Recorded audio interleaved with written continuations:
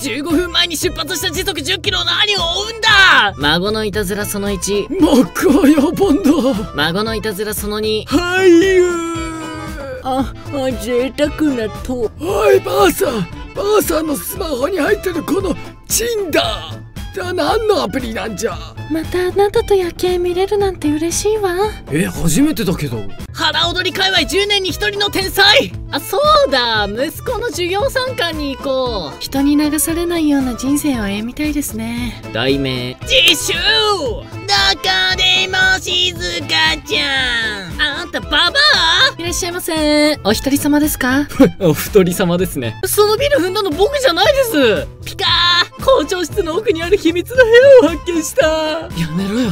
前にも聞いたよ。同じじゃん。何も変わってねえじゃん。変わったはずだろ。パスワードが違いますえ、おしべがめしべに10分演奏中にどんどん片付けられてく。赤の他人でどれだけ家族の雰囲気出せるか選手権2016チャンピオン。サランラップしたやつ出てこい。猫カフェのアイドルが期待値超え。読み聞かせになぜかパパたちが群がる。夢は覚まさねえとな。こんにちは怪しいものですが。俺が行く。いや俺が行く。じゃあ俺が行く。どうぞどうぞ。どこを見ているカカロット。セメント固まったかしらあのボロ屋高く売れたね。いないいないっておりますやん。はあ月が変わってお仕置きよ。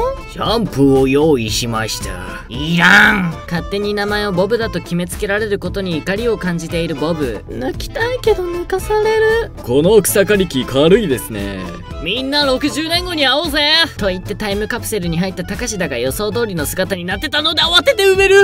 授業参観なんてなければいいのに。落としやがった。なんや自分で言えるやん生き物係になってから田中の雰囲気が変わった。初デートにパンイチ犬に彼への興味が止まらないわ。着物に似合うメイクのポイントはまず。美人であること。それでは聞いてください。鼻息。水深が3センチしかなかった。ごめんね。もうあなたは飼わないの。好きなところへお行き。と言った途端これ